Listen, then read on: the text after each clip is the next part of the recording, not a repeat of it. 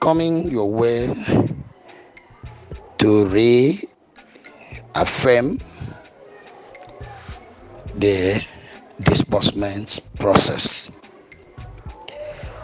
I know many of you are beginning to hear certain aroma of disbursement. Ladies and gentlemen in Grand Community in Nigeria, my name is Pastor Dr. Akan Basi. I'm coming your way to reaffirm the disbursement process. I know many of you are beginning to hear certain aroma of disbursement. But I want to let you know that disbursement will soon shock us positively. Because a lot of things we are hearing now is a positive expression. But you know what makes this work? You know why those positive uh, shocking coming up is because everybody in grand community have relaxed to allow things take place accordingly. No more noise. So i want to continue to encourage you. Be in the party of those who keep silence for achievement. Continue to pray. Because this positive shocking is already close to us. I don't want to reveal to you what I have heard because most of the time um, uh, it, it breaks one's uh, silence once they hear such news. But I want to tell you, let me keep silent until it happens. It's a very shocking positive disbursement. And we are going to get there.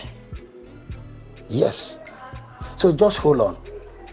Allow the team of Apostle Ken Nwakama, the UAAG, to play their part effectively without distraction and get it disbursed to us. But let me debunk the information they say the NGO will receive this week.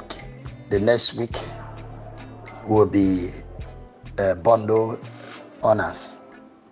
But one, why I want to de- uh, debunk it is because from our beginning information, we were told that the NGO will be the last to receive. So sometimes forecasting may not work we were told that NGO will be the last to be disbursed to, that it is the bundle owners and uh, beneficiaries. I don't know if you people remember such uh, information. It has been a very long time before we went for um, verification. So I, I'm still believing on that. Yes, I'm still believing on that. Except the Lord changes it that the NGO should be first disbursed to. Yes, but I would prefer to make us more proactive, to make us more. Uh, uh, uh, uh, what do I put it? To make us uh, more concentrated on our beneficiaries.